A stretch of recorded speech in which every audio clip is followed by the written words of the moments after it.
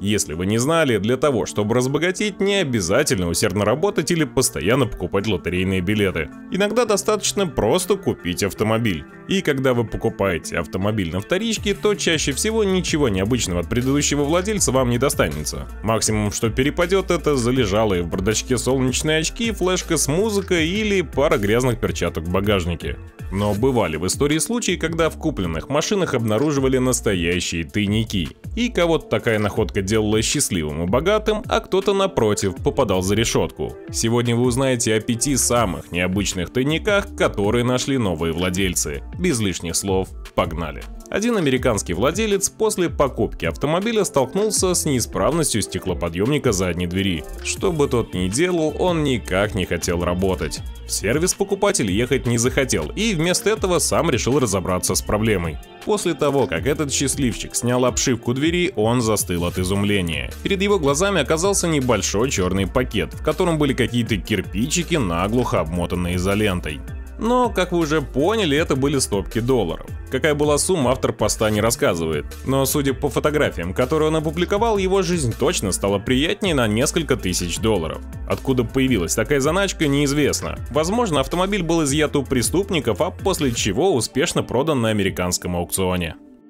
Похожая история произошла пару лет назад в одном австралийском городке, но исход тут немного печальнее. Полицейские остановили для проверки документов пожилого водителя. Он показался им подозрительным, и они решили произвести досмотр автомобиля. Во время обыска они нашли немаленькую сумму денег если быть точнее, чуть более 200 тысяч австралийских долларов. И знаете, где все это было спрятано? Наличка была перевязана обычными банковскими резинками и четко утрамбована в нише, где должна была быть подушка безопасности пассажира. Деньги полиция изъяла, а водитель получил обвинение в контрабанде. Чем закончилась история, никому не известно. А вот американец Тай Кайкендал тоже умудрился обнаружить в своем поддержанном автомобиле порядка 200 тысяч долларов. Между прочим, по текущему курсу это почти 15 миллионов рублей. Неплохо так, правда? Ирония истории в том, что купил он этот автомобиль на аукционе, который проводила полиция штата.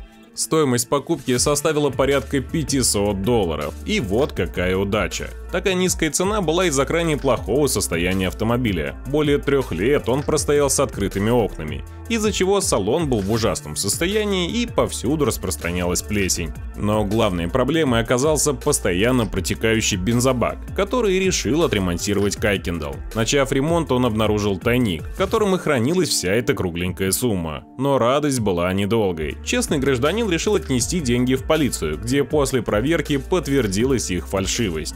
Таким образом, преступная группировка проводила поддельные купюры в разные штаты. На этом история и закончилась. Невесело было и другому американцу, который в 2015 году приобрел подержанный джип Чироки. Автомобиль продавался не в идеальном состоянии, с разбитыми бамперами и лобовым стеклом. Пришлось поторговаться, и когда цена устроила и продавца, и покупателя, сделка состоялась. После того, как покупатель поехал в сторону дома, он решил открыть центральную панель, в которой им и были обнаружены несколько патронов и непонятные таблетки. Но это не самое интересное. Когда пришло время поменять воздушный фильтр, в воздуховоде им была найдена маленькая вязаная детская перчатка. В ней ничего не было, но находка также его удивила. С тех пор он стал называть свой автомобиль сундучком убийцы. Ну и, пожалуй, самой невероятной из всех стала находка 55-летнего жителя Великобритании Ника Мида. Дело в том, что он достаточно давно коллекционирует военную технику, после чего занимается ее реставрацией. В этот раз он приобрел себе советский танк Т-54, который ранее применялся в Ираке. За свою покупку он заплатил более 40 тысяч долларов. И каково было его удивление, когда при разборе боевой машины он обнаружил 4 золотых слитка весом около 5 килограмм каждый.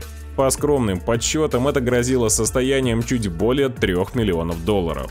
Слитки находились в полости топливного бака, и как они там оказались, никто не знает. Скорее всего, в 90-х годах во время войны в Персидском заливе солдаты таким образом прятали награбленное.